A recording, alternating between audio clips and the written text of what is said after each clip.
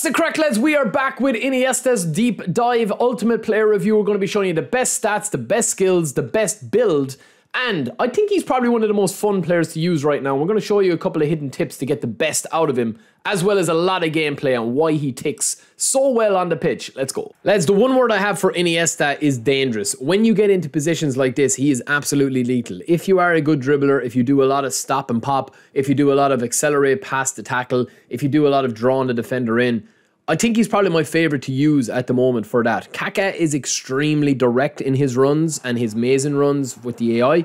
Iniesta's more silky on the ball style, possession style. That's how you'll get the best out of him. Ridiculous balance as well. We did actually spin him here. We got him in 70 spins. If you've missed my pack opening, you can go back and check that out.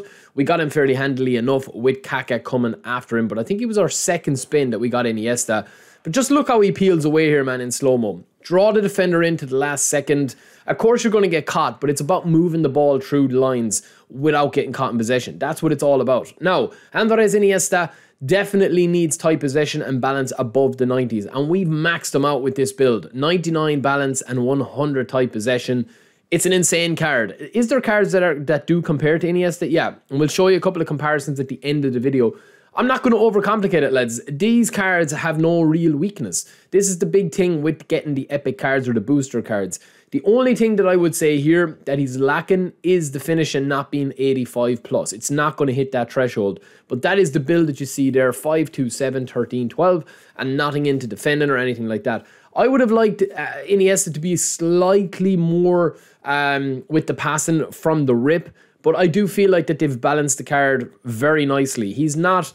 I won't say that he has no weaknesses in terms of like there is there is players that do compare again against him, but that kind of like lofted pass at 85 and the finish and not getting to 84, we could have drawn that back down a little bit with the dexterity. But the skills, this is what I'm talking about with Iniesta a lot of the time, right? If you take a look at his skills here, usually with these runners and direct runners, you need to be able to beat players for pace, power, and for speed and a raw pace. Whereas with Iniesta, it's more about kind of letting the AI make the runs for you and you being able to pick the pockets of space to give the ball to him.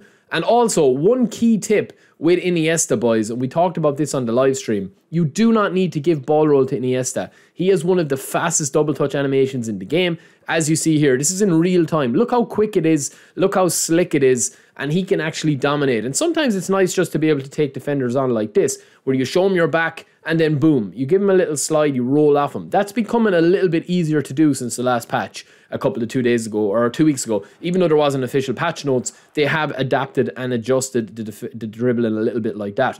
Now, Iniesta versus Pedri.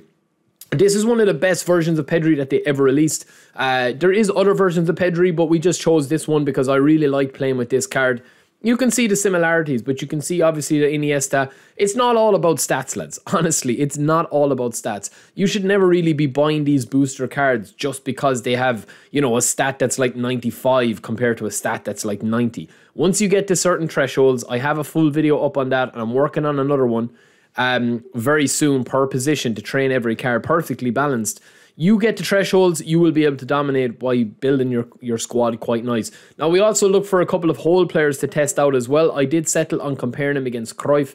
Any other version of Iniesta is going to do the job for you. It's going to have the same player ID, it's going to have the same motion, it's going to have the same AI, the player AI, all of that stuff. Cruyff is definitely one that doesn't have the passing of Iniesta, but I feel like Iniesta, because of his height, because of his player ID, I'm going to go with a 9 out of 10 for this guy as well. If you missed my Kaka review, um, you can check that out as well. But listen, lads, video games are meant to be fun, man. Video games are meant to be fun. And these players just make you have a, bit, a little bit more fun if you are looking to play possession. If you're looking to play a run and gun, I would say that there are better options out there than Iniesta. So that's why I'm a little bit biased on this.